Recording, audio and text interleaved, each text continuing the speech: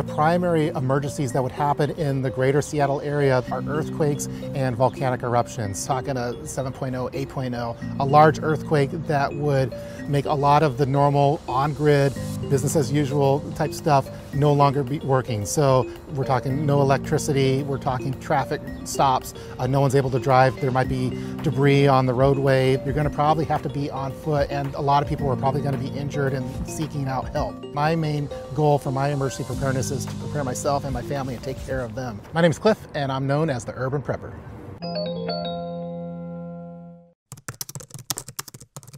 So I started getting into emergency preparedness about 10 years ago. When I started my YouTube channel called The Urban Prepper at the time, I didn't find that there was an outlet for people like me working in the city in an urban environment with a desk job. And over the last 10 years, the channel's grown to around 172,000 subscribers.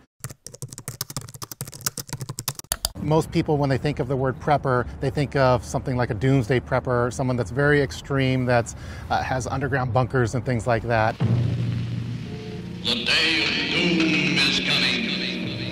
Blood will turn white. Your face will turn green. Your eyeballs will pop. For me, once they get to know the type of prepping that I'm interested in, they see it as more of a practical thing. It's just a form of insurance for the unexpected that you hope you never have to use. I think when you look at it in that light, it becomes less of an extremist type view and more of just a practical thing that most people should want to do.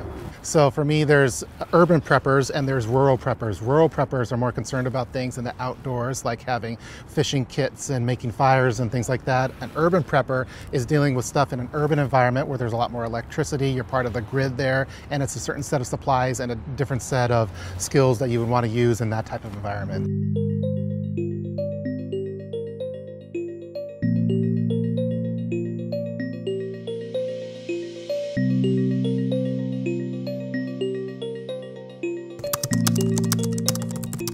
So if an earthquake did hit, we're talking a large earthquake, my main goal was to try to get home within 24 hours if I could, between 24 to 48 hours from downtown Seattle to my home that's in the suburbs. We're going to try to get out of the city as quick as possible. So this is where speed is more important than trying to find shelter or anything like that. We want to get out of this urban environment because in an earthquake scenario, we're going to have to have a concern with aftershocks. So you're going to have to have situational awareness overall with the entire environment. So I'm going to make contact with my home base, my wife, using text message to let her know, hey, I'm coming home. It's going to take me 24 to 48 hours. So on my cell phone and on her cell phone, we use an app called Life 360, which is a family tracking app. So we're going to be able to have GPS locations for where we're all at. So she's going to be able to track me as I'm making my journey from downtown Seattle to home. So water's a little tough to come by in an urban environment because you don't have access to rivers and lakes. So what you want to do if you're in the city is look for one of these industrial spigots that are water access points. They're oftentimes found next to the fire pumps that are available right next door to it, but to access this you need something called a four-way Silcock key. If there is no electricity and no pump activated, you, st you still may have a little bit of water there that you could fill up your water bottle during an evacuation if you don't have any water with you.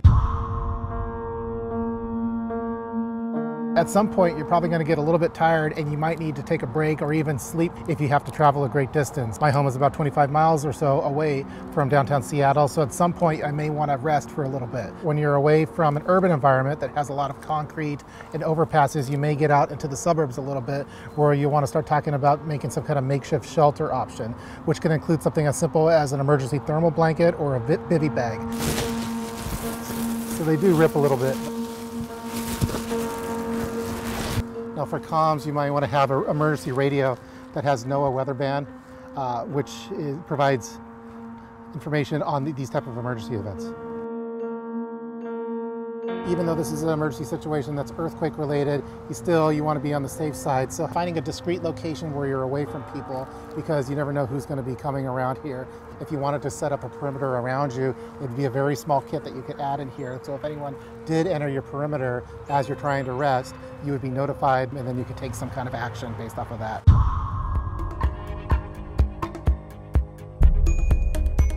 So for phase three, that's when you finally make it home after going through your long bug out route or evacuation route from the downtown area. So the first thing that I would do is first check on the safety of my wife and kids and also on the integrity of the home. If the home looks like it's not structurally sound and it's not safe to be at, you probably want to do a short-term evacuation bug out to the driveway or to the backyard. So I have stuff for water purification and disinfecting. I have comms items. I have food items, includes MRE and other long-term food storage items, PPE for disinfecting wipes, for face masks, for hand sanitizer, items like that, additional shelter items, clothing, first aid, cooking, fire. If the house is not structurally sound, I would set up this large eight person tent to be a makeshift shelter outside of the home. At some point, someone might have to use the restroom, for example, too, and so I also have stuff for sanitation purposes.